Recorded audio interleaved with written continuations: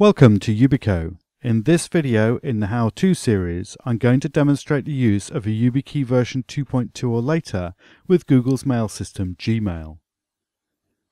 Gmail uses the OATH algorithm, as does the YubiKey.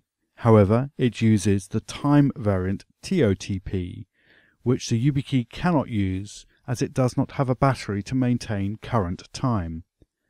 However, the YubiKey can be used in a TOTP environment with the addition of a helper app which sends the current time as a challenge to the YubiKey and uses the response from the YubiKey to calculate the correct OATH TOTP value.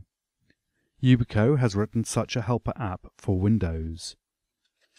The first step is to download the oath secret from my Gmail account.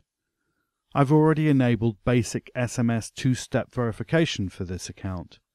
I go into the two-step verification setup screen and click on one of the mobile application devices. Google shows a QR code designed to be read by the Google Authenticator mobile app. I click on the Cannot Scan the Barcode link and it shows me the OATH secret encoded in base 32 format. I select it and copy it to the clipboard.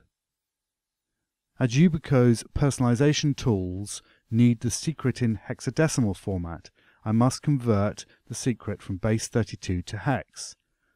I've written a simple Excel spreadsheet to do this for me, so I paste in the secret and the spreadsheet converts it to hex, which I copy back onto the clipboard.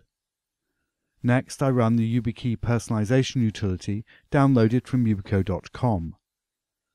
I'm going to configure the second slot to use HMAC SHA-1 in the challenge response section of the configuration tool. I go to the shared secret field and clear the default and paste in my Gmail secret, which will be padded to the right with zeros. I ensure variable input is selected.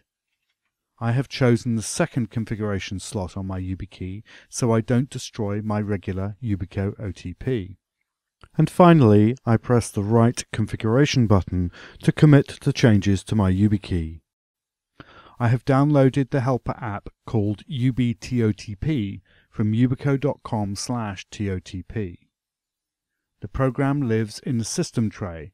When I right-click the Yubico icon, I can generate a TOTP using the YubiKey currently in my computer. I select Show Configuration Screen and make sure Configuration Slot 2 is selected. I can also double-click the Yubico icon to generate the TOTP and paste it into the window currently in focus. I need to send a TOTP to Google to confirm that I've set up everything correctly.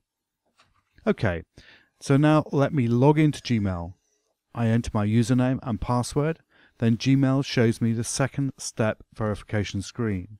So I double click the Yubico icon in the system tray and Google validates the code and lets me in. Want to know more? Please visit yubico.com slash TOTP.